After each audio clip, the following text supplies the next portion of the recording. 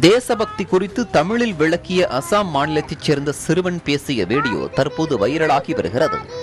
அசாம் மாநிலத்தைச் சேர்ந்த கூலி வேலை செய்யும் தம்பதி அவர்களது மகன் பாபுவோடு கோவை ஆலாந்துறை பகுதியில் வசித்து வந்தனர். சிறுவன் பாபுவின் தந்தை உயிரிழந்ததால் சிறுவனை வளர்க்க சில நபர்கள் உதவி வருகின்றனர். கோவை தொண்டாமுத்தூர் வட்டாரம் முண்டந்துறை அரசு பள்ளியில் சிறுவன் பாபு பயின்று வரும் நிலையில் மத்துவராயபுரம் ஒன்றிய பள்ளியில் நடைபெற்ற குடியரசு தின விழாவில் சிறுவன் பாபு தேசபக்தியை பறைசாற்றும் விதமாக தமிழில் பேசினார்.